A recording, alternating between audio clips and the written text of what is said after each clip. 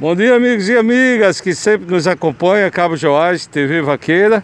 Ó, estamos aqui, ó, bem na entrada do batalhão e também entrada do presídio de Salgueiro. É, essa entrada ela sempre tem problema e agora, olha a situação que está a entrada aqui para o presídio de Salgueiro e também entrada para o Mandacaru.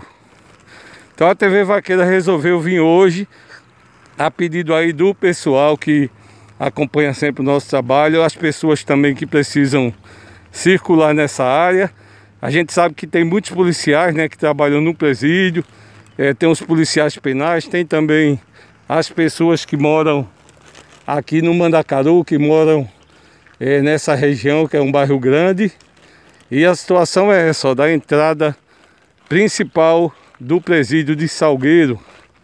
Então muito buraco, muita dificuldade aí para os motoristas circularem e a gente pede aí então a prefeitura, a Secretaria de Obras e Serviços Públicos que mande aí a máquina para fazer um conserto aqui nessa entrada do batalhão e também do presídio de Salgueiro.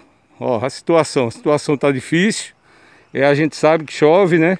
Quando chove, agrava a situação para quem precisa circular. A gente sabe que é, o certo seria fazer logo o calçamento né, dessa via importante, que é a via principal que leva aí para o presídio e também para o conjunto habitacional Mandacaru, que fica lá na frente.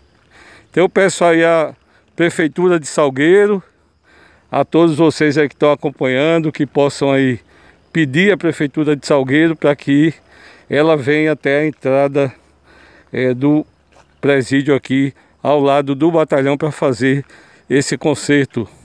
Um abraço a todos, Cabo Rocha, TV Vaqueira pedindo aí para que a prefeitura faça esse concerto na entrada do bairro Mandacaru e também do presídio de Salgueiro. TV Vaqueira, o sertão se liga aqui.